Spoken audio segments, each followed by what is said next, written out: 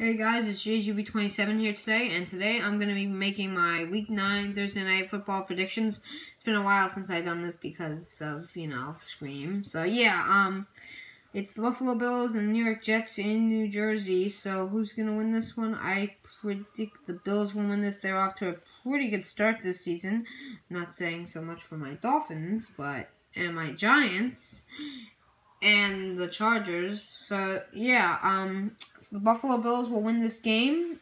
They're just the better team. They're five and two, and the Jets are three and five. So yeah, Bills will win, and I'll see you guys next time. Bye.